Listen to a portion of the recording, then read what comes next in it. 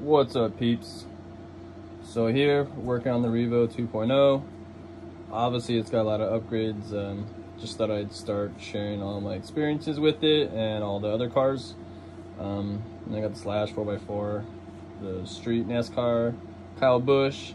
But yeah, anyways, uh, today we're going to be working on changing the spring rates.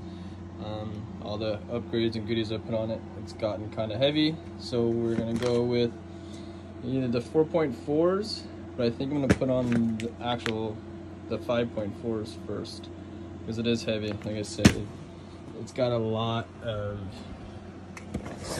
right? It's got a lot of suspension sag. Once it settles, it's just, well, I got a shock out actually, but yeah, you'll see. But uh, once I get it going, I'll let you guys know what's up, what I do. I got the limit straps I gotta take off, rear, uh, rear rear chassis brace I'll probably take off. That's obviously upgraded. I got the RPM blue arms front and back um, RPM front bumper. I did the Proline uh, A scale wing. Actually looks pretty cool. So yeah we'll get going on it. Let's get started. While watching Mark Santa Maria YouTube channel. Shout out to you Mark if you even see this about it. So I've already removed this rear rocker arm screw which connects the shock bottom to the rear rocker arm. So I've taken that screw out, it's actually bent. I'm glad I'm changing this now. And then, um, yeah, um, like I said, we're gonna change the spring rate probably to the 5.4 first, and then go from there. Go do some test drives. But like I said, so we're going to remove this top shock screw. Kind of difficult when you hold the camera. You're gonna have to get the GoPro going on the next one. So we'll take that screw all the way out. Like I said, I'm running um, 90 millimeter um, limit straps because I was pulling um, the rear dog bone out on some crashes or big jumps. I don't know how chassis flex or whatnot, but it was actually pulling out of the wishbone, which is crazy. So chassis braces have basically eliminated that. I do need to get the chassis braces for the front. That's next. So I order those on Amazon. None of the shops around me have them. So let's say we'll take this screw out all the way. Pull it off to the side. We should be able to pull the shock out like that. So you can see I I have that shock pretty tightened down. Um, I did bump the weight up to uh, 50 weight and it didn't solve it. So these are the stock springs. They are a 4.1 uh, coil spring rate and we're gonna do we're gonna do the part number 5443 by Traxxas and that is 5.4 and it's a pink it's actually got a little bit of pink on the shock and like this one is 5441 4.4 and it's got the black paint on it. So that's the way to tell by part numbers and by the color on the shock. So what you're going to do, see if I can do this one-handed, is you're going to lift up and then you'll twist. You'll see a little, the groove right there. So you lift that up and then slide that out and then the springs will come out. Super easy. So I'm gonna go ahead and do that now on the rear shocks, change the springs, clean them up, and then we'll get back to you. Okay, shocks are out. Went ahead and just lift the rear screw and the rear chassis brace. Shocks came out okay. Um, I actually wanted to show you the difference in the size of the coils and the springs actually. Way thicker, obviously harder to compress, think it's gonna solve the problem on the really hard bottoming out when I jump this thing. Like I said, this thing is, I think it's a tank. It's the biggest RC car I've ever had. And when I throw these uh, Proline Badline belted tires on, they aren't light. They're pretty heavy, but man, they kick ass. And they do not balloon. No ballooning. I, already, I ripped off my stock Traxxas wheels within the first week I had it, so. All right, so like I said, I got, I got the shocks all cleaned up. Looking good and then I'm gonna go ahead and throw the spring uh, the springs back on them and slap them back in the rear. And uh, I probably won't show you anything on the front. It's pretty basic. Like I said, we are going to be removing these two screws and these two screws and then you should be able to just lift up on the car and slide the shocks right out and then repeat repeat the same process as we're doing on the fronts so here are the shock caps that need to be cleaned and you can see that slot and that little groove and they basically just go on like that. And then you got to compress the spring slide it on and then let it compress on it and it holds itself in. Pretty simple. So you guys can do this yourself. Don't take it to a shop. Learn how to work on your car. When you fix it you can break it. You can tune it. You can say you can change the different weights of oil in your shocks. You can make it lighter thicker. I mean pretty pretty good options for an rc car so all right time to put you guys down and get these in okay rear is all done pretty much got down how i think i want it like i said i don't got that that big sag because it would, it would sit like that without even touching it. So it's got some good bounce back. I like it. All right, I now to the front. We'll give a little bit more rundown. Um, I did blow a motor right away. So I'm running the Hobbywing Max 8 2200 kV um, A scale motor. I did throw on a GPM uh, motor fan, keep things cool. Uh, turn around front because I actually read this before I bought the car. Um, one of the things to look look out for is probably gonna happen is the servos are going out. One of them or both of them. Both of mine went out at the same time. I don't know. Um, sorry, Trax. Not trying to bash or nothing, but it just seems like having two servos would just kind of be banging up against each other. So I went ahead and did a single servo conversion.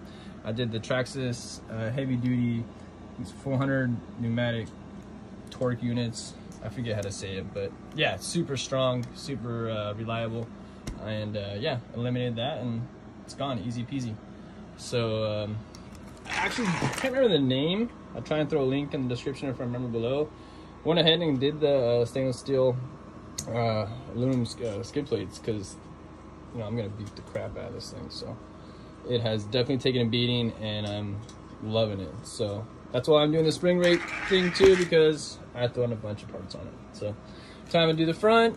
Like I said, we're gonna be undoing this screw right here and this screw right here on the rocker arm on both sides. Able slide the sh shocks out, clean them up, throw the new springs on, and throw them back in. So we'll go ahead and do that now, and then uh, probably take it out and do a test run.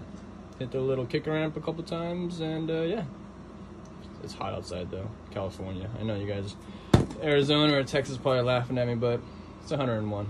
So, alrighty, back to it. So I thought I'd show you guys just because I forgot when I changed the oil in the shocks, you had to do this. So this little screw that is in between the two shocks, it holds on your bumper. Okay. So now you just slide the bumper straight back towards away from the car and then boom easy peasy.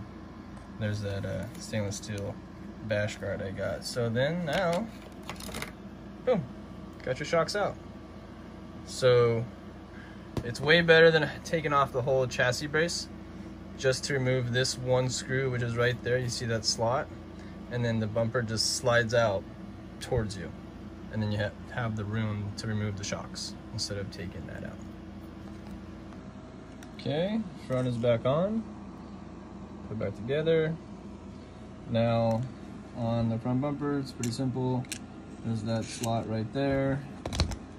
And there's that right there. You're basically just gonna rest that little top part on top of that bracket. And you're gonna see it just slide right in. And then you'll see that is butted up to the steel plate which holds in your suspension pins that hold your A-arms in.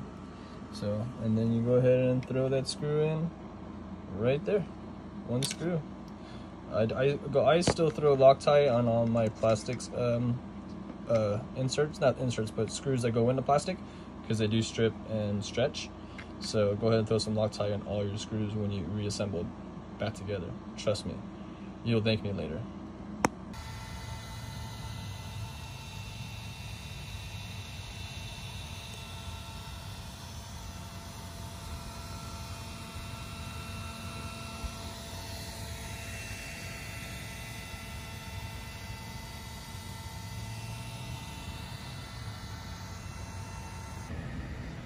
Right, it's finally cooled down.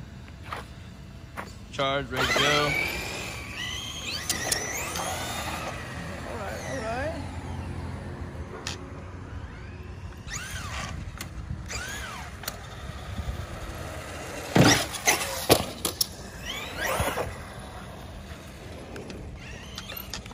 of the way of the car. Feeling good already. Let this car go by.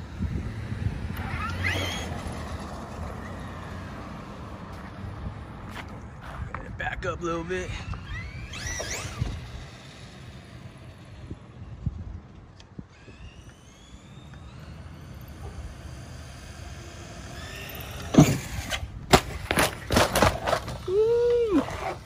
Right at my feet.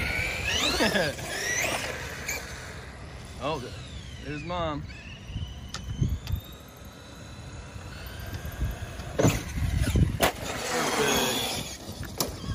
No bottoming out. I'm not going big. I'm just, like I said, just down it in right now.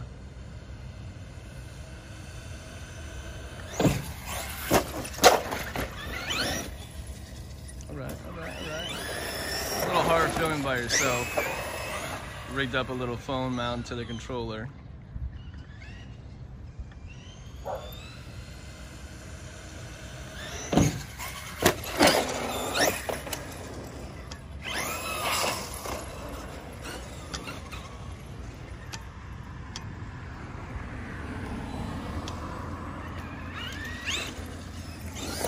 Speed pass for you guys.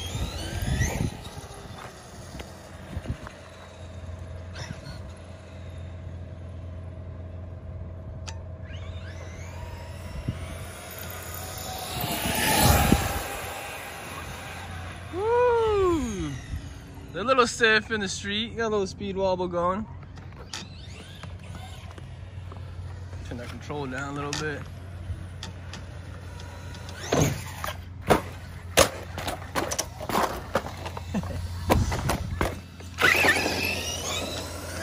One thing with these tracks if you, if you know what to replace, like the control arms, I do have the Integy uh, steel drive shafts in here. That's a big help.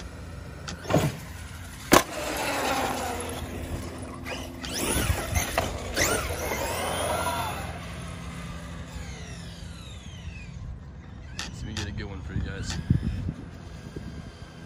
Small ram for a big car.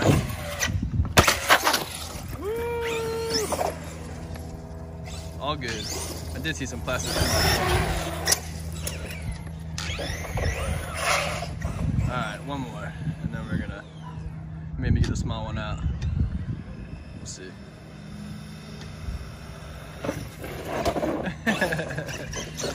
yeah, that was the air. Right over air.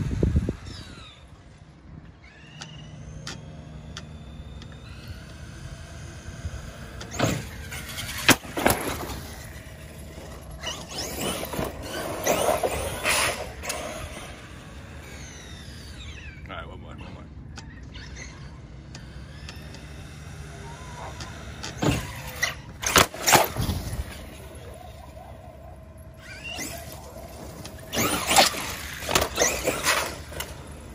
Oh, I love this thing. Well, all right, guys. That's it for the end of this one. You guys be cool.